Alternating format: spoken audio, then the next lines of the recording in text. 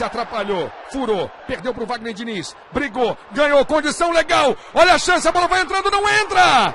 Não entra! Daniel Carvalho, tem cruzamento na segunda trave. A bola passou pelo Renan Rocha, mas não ganhou velocidade para cruzar a linha. Não entrou. Vai voltando aí o Hever. Jogada duvidosa. Passa pelo goleiro Renan Rocha. Chegou ainda salvando o Gustavo. Marcinho faz o cruzamento. Tentativa do Paulinho de cabeça. Chegou no Fabrício, ajeitou pro Pablo, bateu bonito pro gol! Olha a chance! Olha o Pablo aí! Tem faro de gol, menino. Bateu com estilo, bateu bonito pro gol. Defendeu o Renan Ribeiro, veja mais uma vez. E o Kleber Santana chegou um pouco atrasado. Tá aí o goleiro Renan Ribeiro. Cruzamento pra área. A chegada do Bernard! Defendeu o Renan. De novo o Bernard. Pressão do Atlético Mineiro. Bola na entrada da área e a bola alta demais no chute de Daniel Carvalho. Renan Rocha salvando o Atlético Paranaense. Veja aí. Bernard, Renan com o pé.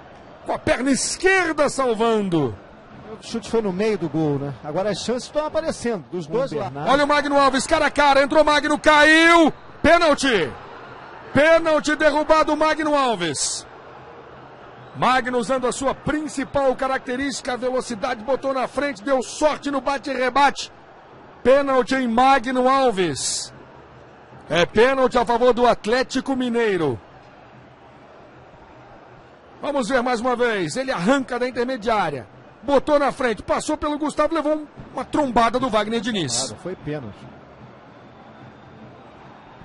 Wagner Diniz derrubando o Magno Alves. Pênalti para o Atlético Mineiro. Partiu Mancini, bateu o pênalti. Gol!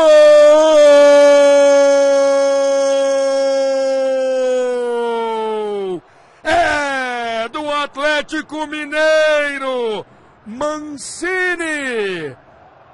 Um pênalti chorado, chorado. Renan Rocha tocou na bola. Ela entrou lentamente. Mancini. Veja mais uma vez. O goleiro foi no canto certo. Defendeu, bateu na trave, bateu nele e entrou.